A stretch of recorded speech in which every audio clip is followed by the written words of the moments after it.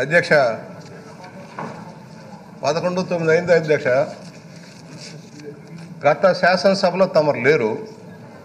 ఆనాడు సభ జరిగిన విధానం ఎన్ని గంటలు ప్రతిపక్షం మాట్లాడిందో ఎన్ని గంటలు అధికార పక్షానికి వచ్చినాయో మొదటి మూడు సంవత్సరాలు చూస్తే మీకు సమస్య ఎలాగ స్టాల్ చేసేవారో అవకాశాలు ఎలా పుచ్చుకునేవారో మేము ఒకసారి గమనిస్తే ఇది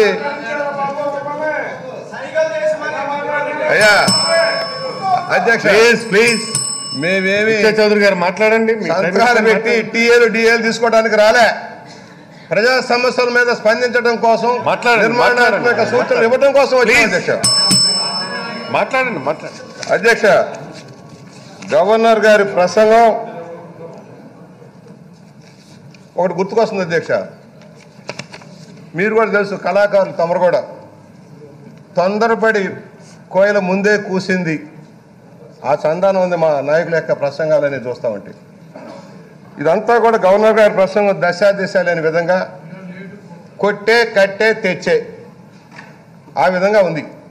ఒక విధాన పత్రంగా ప్రభుత్వం యొక్క విధాన పత్రంగా రాబోయే ఐదు సంవత్సరాలు ఒక దిశ నిర్దేశం చేసే విధంగా మార్గదర్శకంగా ఉండాల్సిన ప్రసంగం ఏదో మేము అరగంటలో ముగించాం పద్నాలుగు పేజీలో ముగించాం అనేది కాదు. ఆర్థిక శ్వేతపత్రంలో కూడా ఉండాలి. ఆర్థిక వనరులు ఎలా ఉన్నాయి?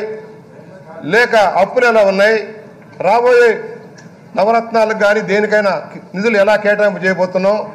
ఈ నవరత్నంలో చెప్పబడ్డ విధానాలకి ఏ విధంగా రూపకల్పన చేస్తున్నాం అనేది ఎక్కడ కూడా చెప్పబడలేదు అధ్యక్ష.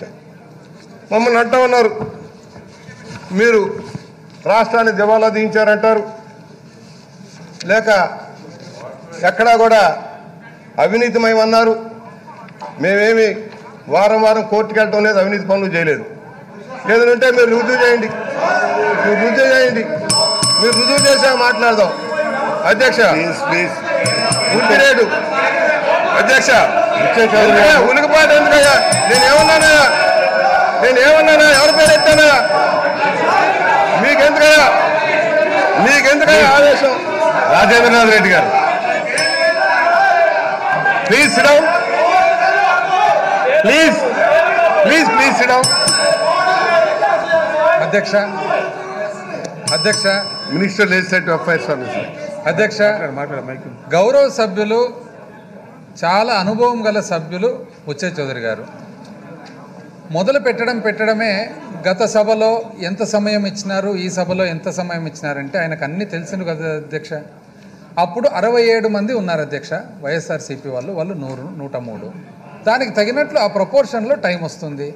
ఈరోజు వాళ్ళ ఐదు సంవత్సరాల పరిపాలన తర్వాత బ్రహ్మాండమైన పరిపాలన తర్వాత ప్రజలు ఇచ్చిన తీర్పు ఏమి? ఇరవై మూడు అక్కడ ఉన్నారు నూట యాభై ఒకటి ఇక్కడ ఉంది. దానికి తగినట్లే సమయం వస్తుంది అధ్యక్ష. ఇక్కడ ఐదు గంటలు ఉంటే ఆడ ఒక్క గంట వస్తుంది. రాలేదు సమయం అంటే వాళ్ళ ఐదు సంవత్సరాల పరిపాలన ఏ విధంగా చేసినారనే దానికి నిదర్శనం అధ్యక్ష. అదేవిధంగా కోర్టు అనే తప్పటికి సబ్జుడిస్ మ్యాటర్స్ వాస్తవానికి మాట్లాడకూడదు. సరే వాళ్ళు మాట్లాడుతున్నారు వాళ్ళ విఘ్నత. అయినా ఏ పరిస్థితుల్లో మనం హుటాహుటిన వచ్చినాం అధ్యక్ష? హైదరాబాద్ నుంచి ఇక్కడికి. తల్లి ఒక పక్క తండ్రి ఒక పక్క పిల్లలు ఒక పక్క ఇంకోరు ఒక పక్క చేసుకుంటూ. వచ్చి ఇవన్నీ కూడా అధ్యక్ష వాస్తవానికి వాళ్ళు ఆ సబ్జెక్టు ఎత్తరాదు. ఆ సబ్జెక్ట్ ఎత్తినందుకు మేము కూడా వేర్ ఫోర్స్ టు రిప్లై ఏమని? ఏ పరిస్థితిలో వచ్చినాం అధ్యక్ష? వచ్చి ఇక్కడ టెంపరీ బిల్డింగ్లు కట్టుకొని అనవసరంగా పక్క రాష్ట్ర విషయాల్లో జోక్యం చేసుకొని ఇబ్బందులు పడి వాళ్ళు ఇబ్బంది పడేదే కాకుండా మొత్తం రాష్ట్రంలో ఉండే ప్రభుత్వ ఉద్యోగులందరినీ కూడా ఇబ్బంది పెట్టి పాపము ఐదు రోజులు ఇక్కడ ఉండి ఇదంతా ఎందుకు అధ్యక్ష? ఇది బికాజ్ ఆఫ్ ఓటుకు నోటు.